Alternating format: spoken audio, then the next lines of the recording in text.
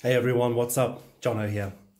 Since I stripped the motor down in those various strip down and tear down episodes that I produced, I was actually kind of keen on working out how the cooling for the water galleries and also the oil works on these engines. So if I can quickly show you, over here the, the actual water pump sits around about here and there's a hole that goes in and it goes straight through the jacket. You can maybe just see my finger, maybe not.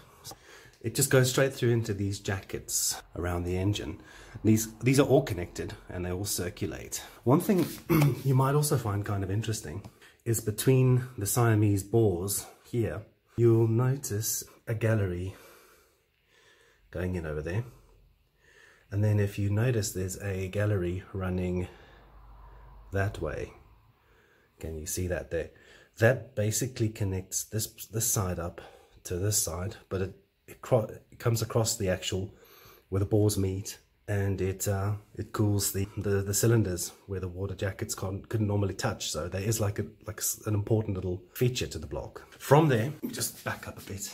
You can see on the cylinder head these galleries all match these ones. And uh, the water will proceed to go through the engine block and then they'll go into the cylinder head to keep the cylinder head cool. Basically they're all flowing and they will come out over here. Whichever way and direction that it flows, um, I suspect it's the block and then into the head and then out through the thermostat. Here's the, the big sort of exit point for the water that comes in, but maybe you guys can correct me. Perhaps it does flow head to block first. I just had to rotate that block so yeah, the oiling system, how does that all come into play? Let's start over here. The oil pump is situated over here. The inlet and the outlet are over here. Just travel around the block, go straight from pump location to where the oil filter will go. I had to actually like look a little bit more because I couldn't work out where the oil will go from this point here. I actually figured it out.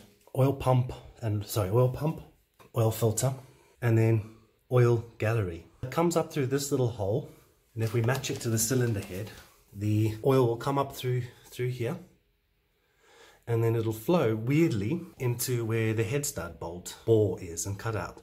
So I was like, well, that's weird. How does that actually go through? You can't really see it. There's a little hole sort of halfway down the oil to travel, which I found. And that oil for that hole goes to this little ball valve.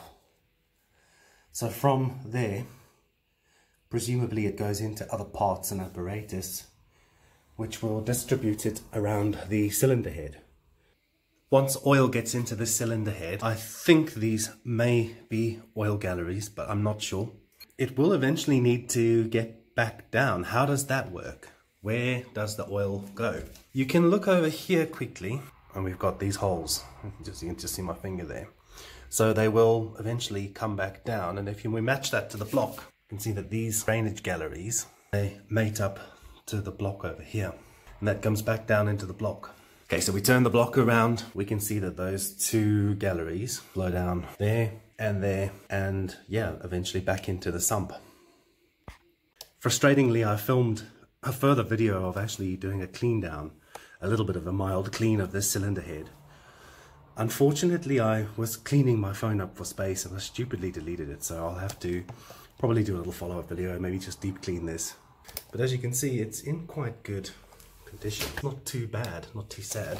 One thing I can see over here is like you've got some sharp edges, which I, personally I would like to, I'd like to see if I can port those, polish them, maybe deshroud these valves a little. Until then, thanks for watching. Don't forget to like and subscribe. And until later, we'll catch you soon.